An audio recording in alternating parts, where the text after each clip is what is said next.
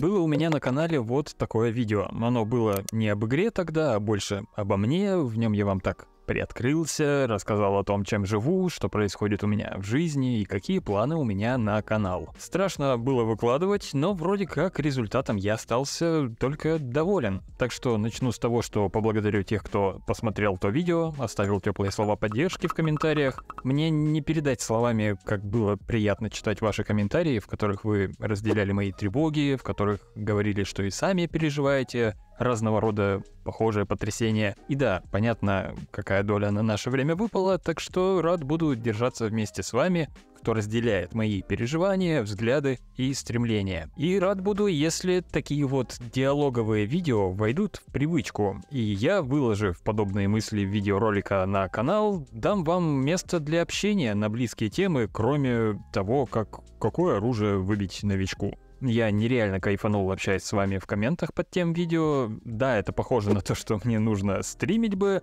но больше года как не стримил, кстати, и, наверное, поговорю об этом сегодня. В этом видео я собираюсь рассказать вам о том, что делаю для канала сейчас, как смотрю на ситуацию с Destiny, как мои дела в вопросе переездов. В прошлом видео я говорил, что планировал как раз еще один, так что налей себе вкусного чаю, давай пообщаемся.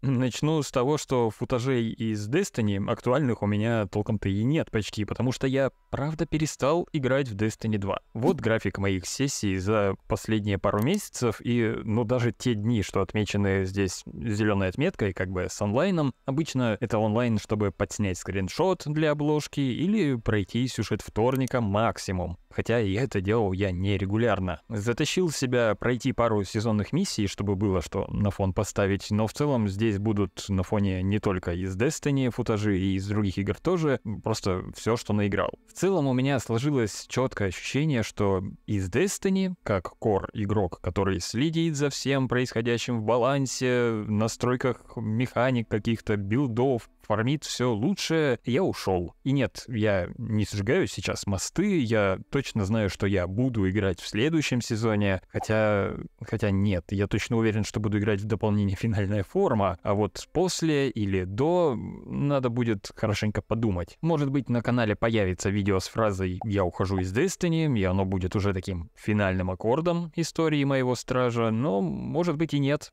Сейчас или потом это все равно случится. Я давно не ставлю себе целью что-то целенаправленно получать из наград в игре, особенно если для этого требуется караулить каждый ресет или фармить сумрачный налет или подземелья. И знаете, за много лет в игре я был разным игроком. Фанател больше от ПВП, фанател от ПВЕ, балдел от чилловых забегов с окланами в рейды или подземелья, набивал какие-нибудь циферки на стату в разных трекерах. А вот таким чуваком, который просто играет строго тогда, когда на это есть настроение и прям желание, таким я не был, да, наверное, никогда. Как только завел канал, я въебал как мог на энтузиазме и на интересе, и через не могу было, и чтобы заработать и выжить, когда потерял основную работу во время пандемии. Теперь вот хочу такой темп поддержать, и его же, в общем-то, несу и на канал, на котором хочу видеть более спокойный, оригинальный, близкий мне и нештампованный контент. Хочу делать его более личным. Хочу, чтобы вы знали лучше меня,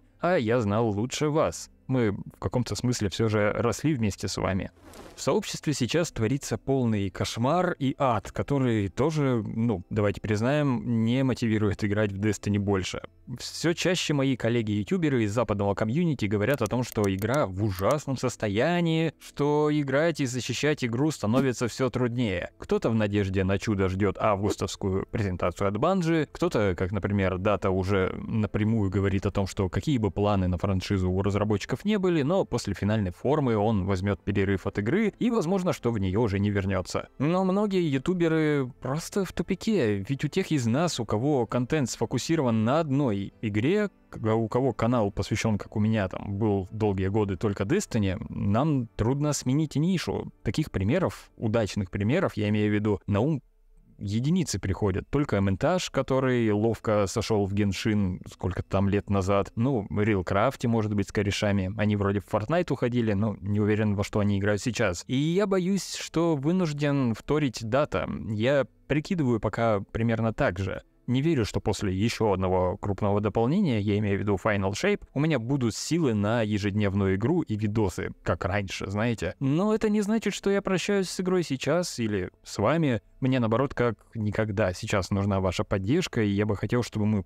просто были, как говорится, на одной странице. Знаю, что у многих из вас такие же мысли об игре примерно, так что, как я и сказал в начале видео, я буду рад находиться в окружении единомышленников и тех, кто также чувствует. Я еще вернусь к этой теме в отдельных видео, наверное, осенью, когда канал будет отмечать свой день рождения. И знаете, таких чуваков, которые приходят в комментарии фанатских сообществ по абсолютно любой игре, хоть популярной, хоть не очень, и пишут что-то вроде «Блин, в это еще что-то кто-то играет». Вот я, работая сообществом, и как блогер, и автор, или как как комьюнити-менеджер вижу такое регулярно. Так вот, я сам попался в какую-то подобную ловушку. Я открываю ленту своих подписок на YouTube или захожу в Twitter, и поскольку большая часть ленты — это так или иначе люди, связанные с Destiny, я вижу тот же контент по игре, какой выходил у них год назад. Два года назад или четыре года назад. Да и вообще-то сунься ты на канал ко мне, не знаю, полгода назад, наверное, бы впечатления были теми же самыми билды, обзоры, лучшие перки, обзоры оружия, ЗУР. У меня невольно возникает мысль, глядя на это, блин, други мои, как вы на этом вообще держитесь? Понятное дело, что монетизацию-то сняли для русского сегмента YouTube, вот я и ною, а чуваки-то просто работают. Но все же у меня просто сформировался совсем другой взгляд на тот контент, который я бы хотел делать. Я знаю, что в ближайшее время просто не стану насильно э, клепать ролики, которые я делал раньше, с обзорами, гайдами и так далее. И вот я удивлялся, как у других авторов это работает. Я уверен, что многие также устали все в том же недавнем ролике Дата меня прям на слезы почти пробил, потому что он дословно выложил все мои мысли как автора. И это так странно понимать, что у контент-мейкеров разного масштаба одни и те же проблемы, когда работаешь над чем-то так долго. Ну да ладно, даже если Destiny меня расстраивает, я очень люблю работать над каналами видео, так что давайте двинемся к позитивному. Как вы наверняка успели заметить, звук моего голоса улучшился в последних роликах. А по монтажной части я смог позволить себе чуть больше. Вы же заметили, правда? И я, наконец, купил себе базу для работы с контентом. Я монтирую не на калькуляторе больше, а прям почти на коллайдере, но поскольку я все еще живу в таком подвижном режиме, назовем его, и не знаю в какой стране или в каком городе окажусь через год или два, для меня важна мобильность и компактность. Так что и технику я подбирал исходя из этих соображений в первую очередь. Купил миниатюрный микрофон Razer Mini, он, конечно, довольно бюджетный и не самый сильный в плане качества звука, но пока закрывает потребность головой. Для меня главное, что он дает мне нужный простор по настройкам и не занимает много места в сумке. Ну и это все еще лучше, чем писать на гарнитуру от телефона, пожалуй. Ну а для монтажа у меня теперь новый ноут. И этому я просто никак не нарадуюсь. Прошлый ноут, MacBook Pro 2012 года, у меня протянул все свои 11 лет. И все еще он живой. Я им пользовался на старте канала, потом пересел на настольный ПК и вернулся только когда взял его с собой при переезде. Старичок из последних сил ворочал ленту YouTube, а я от него еще какого-то монтажа ждал. И купил я тот ноутбук вообще, когда работал сам продавцом, еще в магазине техники Apple, знал бы я тогда, где я с ним окажусь. Так что даже теперь, когда я им не пользуюсь, я все равно его берегу как такой артефакт, знаете, он очень мне дорог. Спасибо большое тем, кто донатил на новую технику. К сожалению, донатами добить полную сумму, конечно, не удалось, но несмотря на это, ваш вклад и отзывчивость я очень ценю. Каждого подписчика на Boosty обещаю угостить пивком или соком, если дороги пересекутся. Теперь вот осталось еще по мелочи дособирать на карту захвата SSD-шник, и можно будет работать. Вообще, я даже думал о том, чтобы монтировать ролики для других каналов за это время или набивать руку, потому что вот, ну, люблю я это дело. И как я сказал, как бы не расстраиваться устраивала Destiny. Работу с видео я люблю и расставаться с ней не хотел бы в ближайшее время.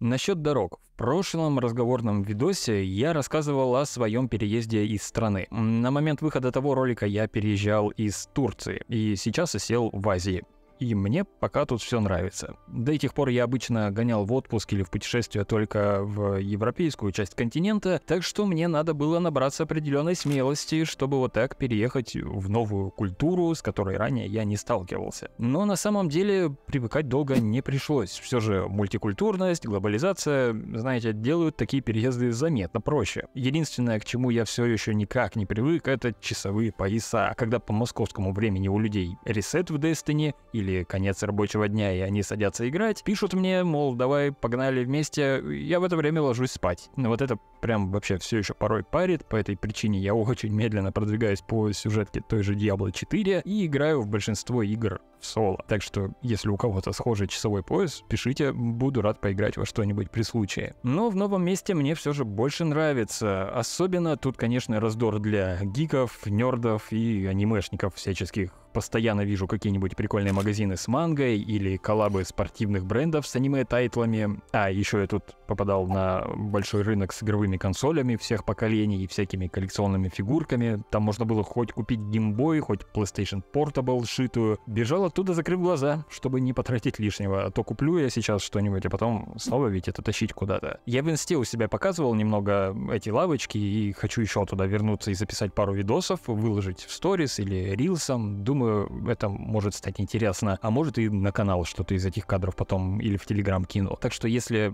любопытно посмотреть и послушать о переездных делах, о бытии в новой стране, это, пожалуйста, и правда ко мне в Инстаграм, ну или в комментах напишите, я расскажу в следующем каком-то разговорном подобном видео что-то подробнее. Хотя больше я втыкаю, конечно, здесь в работу, чем гуляю и что-то снимаю. Если активчик какой-то принесете в инсту, то постараюсь чем-то интересным ответить. Хотя, конечно, помним, что все же переезд в какую-то страну и туризм в эту же страну — это жесть, какие разные вещи. Ну, а вы пишите, из какой, кстати, страны смотрите. Интересно, кто и где оказался. Вообще кажется, что нужду в таких вот разговорных видосах у авторов контента принято закрывать стримами, но я их, как сказал в начале, не провожу уже года полтора-два. Но мысли о том, чтобы подрубить, были время от времени, как минимум для такого вот живого общения с вами. Так что напишите в комментариях, хотели бы вы на стримах позалипать сейчас или нет. У меня, как я сказал, пока карты захвата нет, сбор на нее я на всякий случай на бусте все же открыл, так что как докуплю все необходимое, можно будет игровые стримы подрубать, а до этого момента могу обещать только какие-то разговорные, без геймплея, на пообщаться. Но, опять же, только если вы попросите, если вам это интересно. Так что давайте обсудим в комментариях. И вот про игровые стримы я сказал. Про Destiny как про место, в котором я отдыхаю, я думаю, все меньше и меньше. Так во что я тогда играю? Ну, за последние месяца два я залип в две игры. В Diablo 4, о которой уже делал отдельное видео, в котором делился впечатлениями о первых часах 10 игры. И в Fortnite залип. Вот в форточку я, конечно, знатно засел. Играю в нее более-менее каждый день. Сначала залетел в прошлом сезоне, увидел там доп-сезонник, посвященный атаке титанов, моему любимому аниме из немногочисленного числа того, что я вообще смотрел.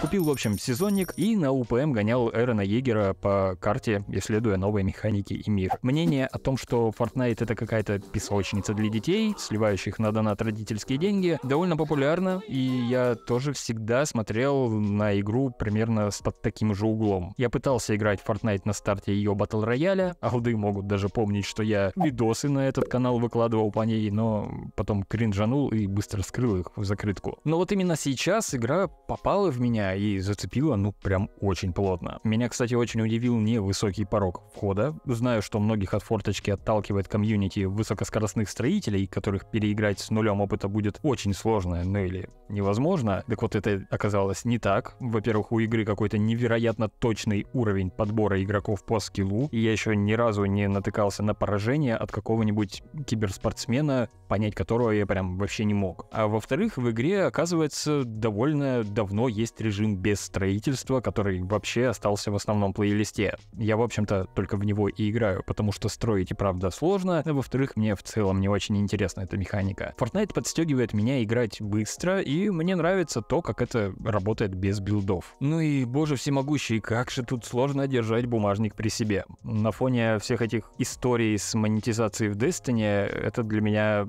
наиболее прозрачная система. Я внезапно обнаружил, что вообще-то не прочь купить некоторые скины, ну, вы понимаете, причины объективно налицо. Но, в общем-то, пока это не превратилось в видео по про то, что я доначу на скинчики вайфу в форточке, просто скажу, что мне прям есть что сказать о ней, впечатлений и мыслей наберется на отдельное видео, так что, если вам любопытно, как так вышло, что Джонни Ленни ебался и ушел играть в мультики, напишите в комментариях, я буду только рад, поскольку такой контент у меня прям сидит внутри уже пару месяцев, да и стримил бы я игру, в которой получаю истинное удовольствие, тоже с большей охотой. Блин, аж руки зачесали поставить запись видоса на паузу и пойти сыграть. Но к чему все это я? Мне, конечно, вот так общаться с вами по кайфу. Но по кайфу ли вам? Пишите в комментариях, что из того, что я рассказываю вам, больше всего откликается. Я с радостью отвечу. Еще раз спасибо тем, кто писал добрые слова под прошлым разговорным видосом или посылал всяческие лучи поддержки. Лайком тоже очень рад. Давайте будем на связи. Ну и насчет стримов я все же подумаю. Пока.